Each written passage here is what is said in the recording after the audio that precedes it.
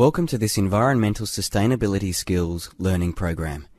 During the completion of this online program, you will learn what environmental sustainability is, the harm that the automotive industry can have on the environment, environmental law, the benefits of working in a sustainable way, the philosophy of prevention, reuse, reduction, and recycling, how to protect our water systems and land, the importance of air quality, noise prevention and reduction, automotive best practice. Environmental sustainability involves protecting and managing the oceans, freshwater systems, land and atmosphere so that we meet the environmental needs of generations today and into the future. People, businesses, organisations and governments around the world are becoming more aware of the impact they're having on the environment and how important it is that they become more environmentally friendly.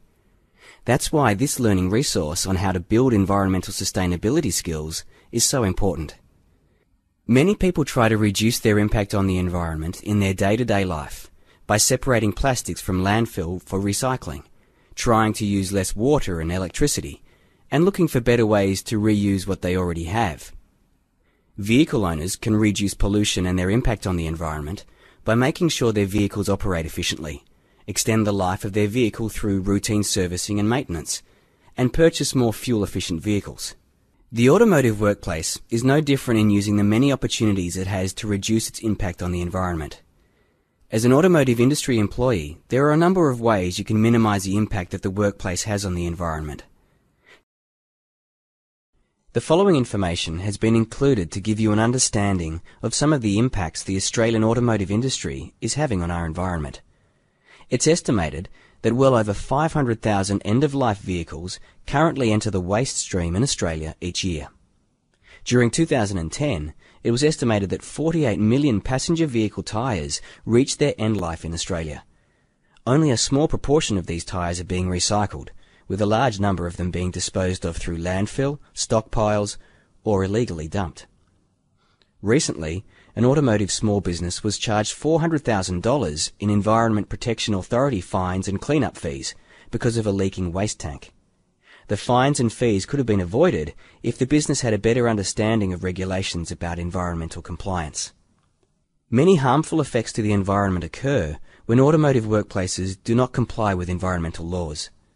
Following are some examples of environmental damage that can occur. Select the button on the right to learn more. Water pollution, oceans and freshwater systems, happens when pollutants are discharged directly or indirectly into water bodies without adequate treatment to remove harmful compounds.